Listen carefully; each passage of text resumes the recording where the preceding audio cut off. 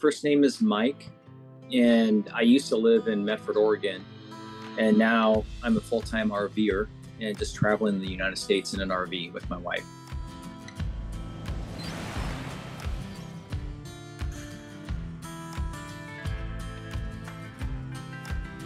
It's the Tiwal 3, and I bought it in June.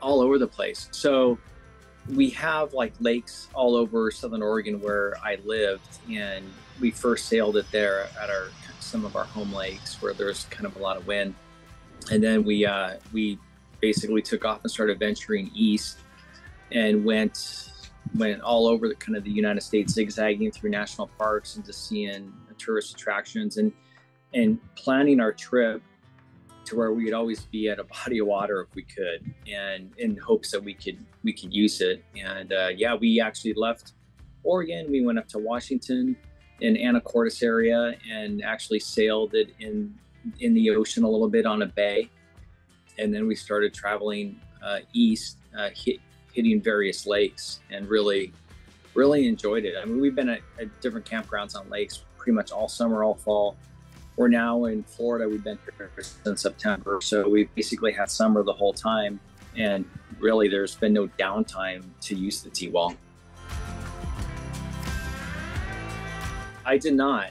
And that's one of the reasons I got the Tiwal because our goal is to live on a sailboat one day. And I contacted a sailing instructor and ultimately got lessons with just last month and I asked him, how do I get started in sailing? And he said, well, well, do some online courses, which I did. And he said, try and get your hands on a small uh, sailboat.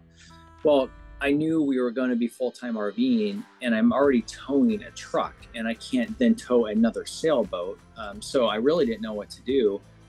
And I saw the Tiwal on a TV program I was actually watching in the background, and I Googled it, and kind of the rest is history. So um, it's really the only way it could work for me was to have something that's portable, inflatable, that's small.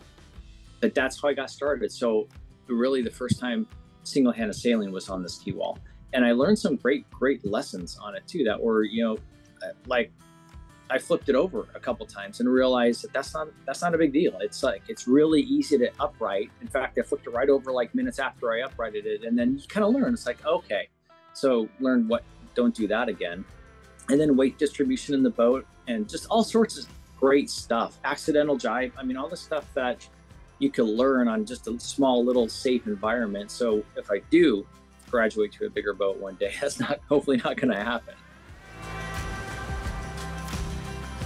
I could keep it in the back of my truck that I pull behind my motorhome. It's a small truck. It's just a Ford Ranger.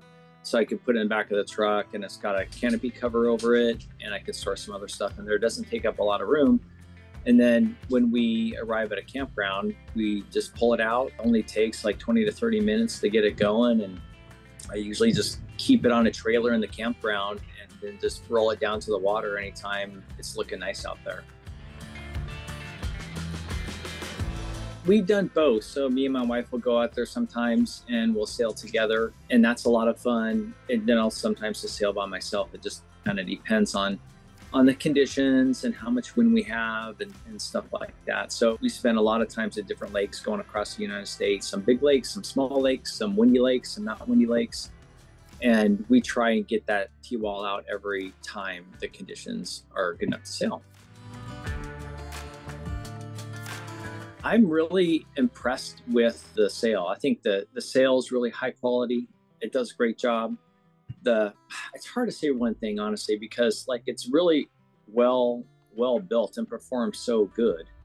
I really love everything about it. There's not really one thing, but I was just gonna say like the sails, like the North sail is like a really nice sail. It's a very striking sail. When I when I use the boat, I'm pretty proud of it because it's a very good looking striking boat and actually turns a lot of heads. And people don't see that. I mean, they're just there're not a lot of Tiwals around here, and so oftentimes every time I bring it out, there's co- anybody that walks by, there's going to usually be a conversation about it. Oftentimes, people will Google it on their phone because they're trying to figure out what it is. They've never seen this before.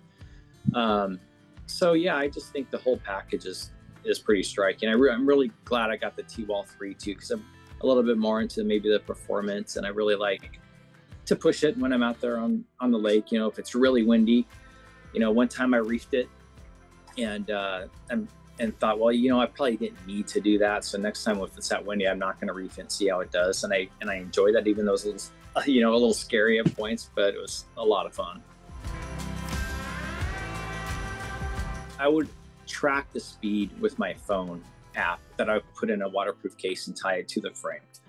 Um, and my probably my best ex- memory was going really fast. And you know, I I'd sail typically at around six knots or you know eight miles an hour, and that's super fun. And uh, but on lakes, the, the wind kind of comes. It's like up and down. It's not like consistent on the ocean. So there's one day that was really windy. It was blowing really hard, and it was consistent wind. And I was able to get up on the uh, get up on the frame rail and really heel it over and push it to you know and went really fast. And I was recorded like 12 miles an hour on my little phone. So I thought that was pretty exhilarating. And I don't know what that is to knots, but it was for me, it felt pretty fast. In nice tropical warm waters around Florida, which is where I'm at now. One thing about Florida is that there are alligators. So I'm not so much into the lake sailing here in Florida. I, I, I need to find uh, the ocean. And there, and we were in the Florida Keys, and we sailed it around Florida Keys, and it simply doesn't get any better than that. I mean, the ocean was beautiful, the wind was great, water's warm, air is warm, is just perfect. So I think I'm, I think I've landed where is the perfect place for me.